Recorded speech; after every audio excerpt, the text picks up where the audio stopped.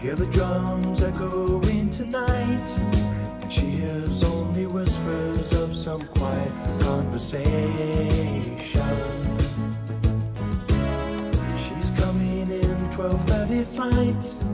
The moonlit wings reflect the stars that guide me towards salvation.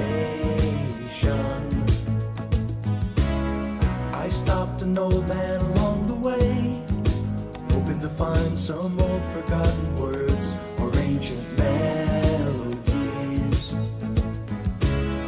He turned to me as if to say.